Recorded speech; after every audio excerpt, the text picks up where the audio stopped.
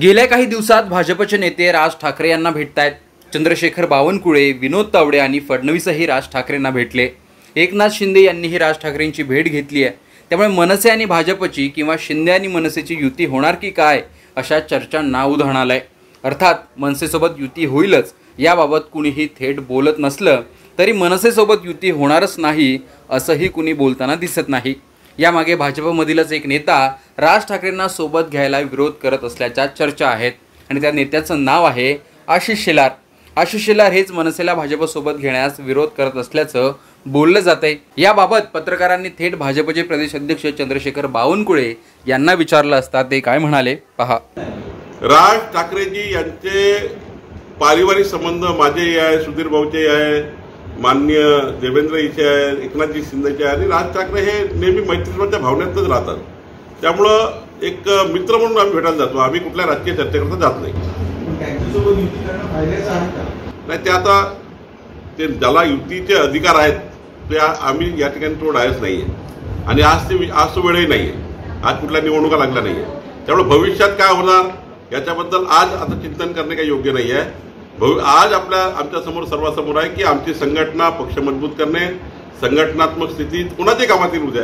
रामटेकमध्ये बघा मागच्या वेळी शिवसेनेच्या शिवसेनेचे कृपाल तुम्हाला. संघटनात्मक ताकद भाजपचीच आहे हे तेही मान्य करतात. त्या ठिकाणी पूर्ण ताकदीने भाजप उभी केली म्हणूनच कृपाल तुम्हाला शिवसेनेचं निवडून आले. आम्ही आमची तयारी नेहमी करत असतो. आणि वेळावर जो काही उमेदवार येईल शिवसेनेचा शिंदेसेने शिवसेना जे शिवसेना जी शिंदेच्या नेतृत्व नेतृत्वामध्ये आहे त्यांचा आणि भाजपचा. जो उमेदवार येईल त्याच्यामागे पूर्ण ताकद उभी करणार पण असं म्हटलं जात आहे की आशिष शेलार जे आहे त्यांचा कुठेतरी विरोध आहे मनसेला सोबत घेण्यासाठी म्हणून सगळं थांबलं. हे तुम्हाला मीडियाला ते माहीत आहे बाकी आमचा कुणाचाही आज या संबंधी काही चर्चाही नाही आहे.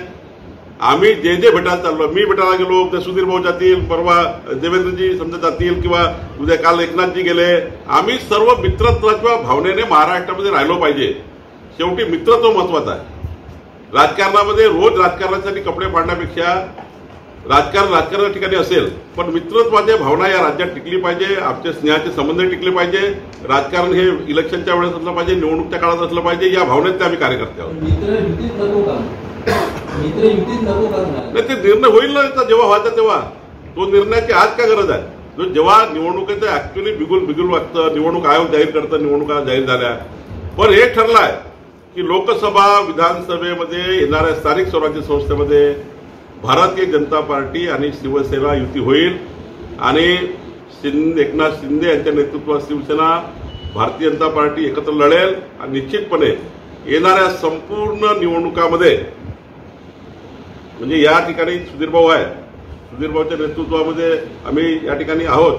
पण पूर्ण महाराष्ट्रात पॅन महाराष्ट्रात आम्ही आमचा जो पार्लमेंटरी बोर्ड आहे कोर ग्रुप आहे आम्ही ठरवला आहे की राज्यामध्ये आता येणाऱ्या सर्व नगरपालिका नगरपंचायता महानगरपालिका जिल्हा परिषदा विधानसभा लोकसभा शंभर टक्के भारतीय जनता पार्टी आणि शिवसेना युती होईल आणि आम्ही नंबर एकवर म्हणजे आतापर्यंत जेवढं यश मिळालं नाही त्यापेक्षा जास्त यश यावेळी मिळेल.